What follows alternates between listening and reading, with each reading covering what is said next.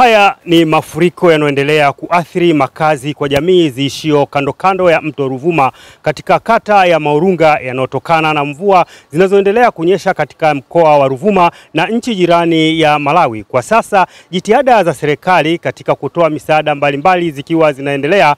Mkuu wa wilaya ya Mtwara anaeleza hali ya athari ilivyo kwa sasa. Tunamshukuru Mungu kwa sababu pamoja na mafuriko haya hakuna kifo ambacho kilitokea, hakuna mtu aliyekufa mpaka sasa hivi, wala hakuna mgonjwa na tunaendelea vizuri. Tumeweka timu ya wataalamu wa afya hapa.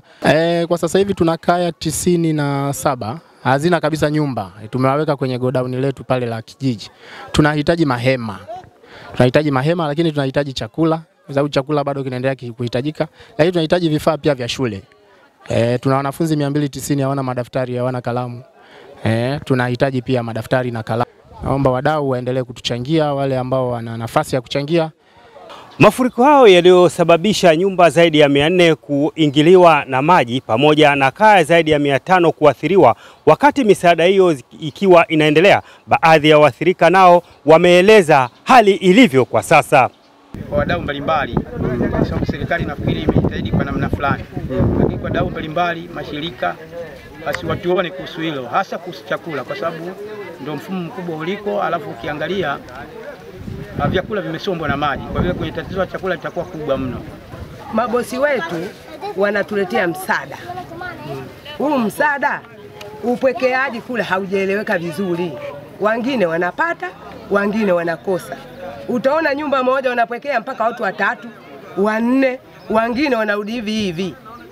Wameleta maharage, wengine wamepata nusu kikombe, wengine wamepata kikombe. Unga mwingine anapata komichi mbili, mwingine anapata komichi tatu. Yaani kwa kila hii hali sisi wengine tunanyongeka. Wameleta magodoro, wameanza kugawa, wamewagawia watu wengine, vijana, wazee, wengine wengi hawajapata godoro.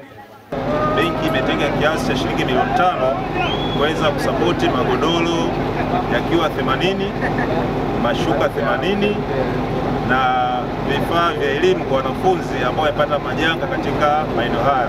Hayo ni baadhi tu yanayoendelea kutokea katika kata hii ya Maurunga. Zaidi tutawajuza katika taarifa zetu zijazo hapo baadaye. Kutoka kata ya Maurunga katika vijiji hivi vya Kivava, mimi naitwa John Kasembe. FM kutoka Tabata, Dar es Salaam, Tanzania.